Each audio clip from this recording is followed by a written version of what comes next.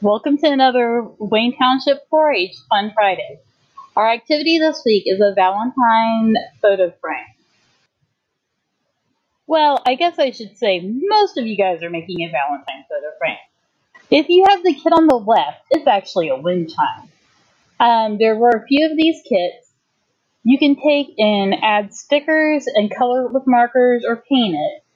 But we're going to be going through the directions for how to put the photo frames together. In your kit, you'll have a heart-shaped photo frame, and then a assortment of foam stickers to add to it.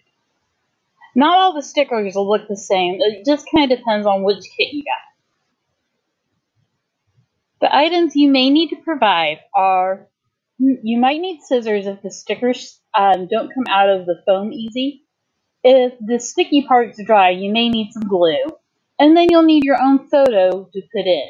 You may need to cut your photo down with the scissors to get it to slide into the frame easily.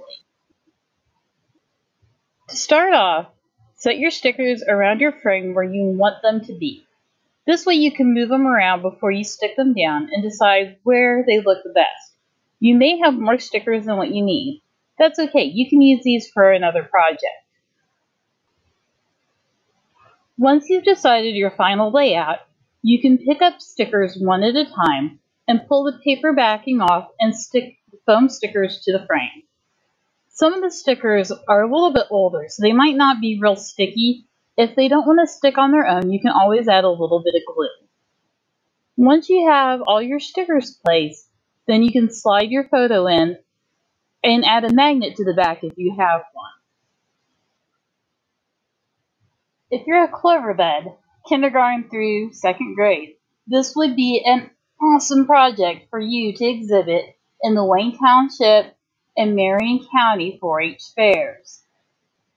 If you're older, this project is probably a little too simple, but you could exhibit it if you wanted to. You would need to fill out a craft card if you're in 3rd through 12th grade. So that was our easy peasy craft for this week.